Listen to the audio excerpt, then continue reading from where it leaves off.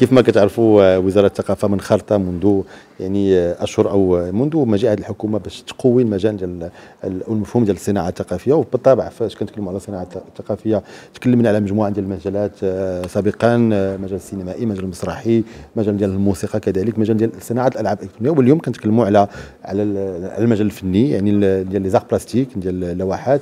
وفي هذا المجال بالطبع آه، هو مجال آه، اللي اللي كيعرف يعني تطور يعني جد ملموس وكيتبين على كيتبين على على الحضور آه، بحضور يعني الفنانات والفنانين على الصعيد الدولي وب وب وب يعني الثمن ديال بعض اللوحات اللي كنشوفوها على الصعيد الدولي. يعني كيبين بأن هناك حضور فني مغربي متميز. اليوم حان الوقت باش نقويو الجانب القانوني باش باش باش نحميو آه، هاد هاد اللوحات هاد الفنانات والفنانين.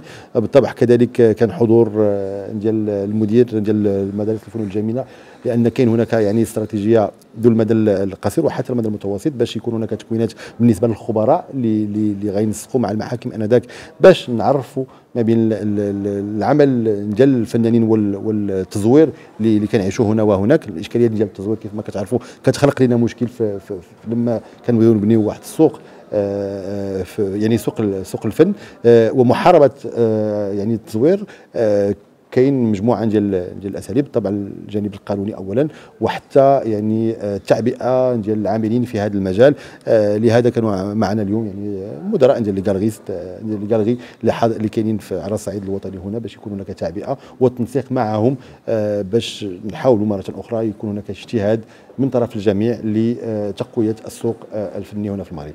شكرا سيدي الوزير نعم.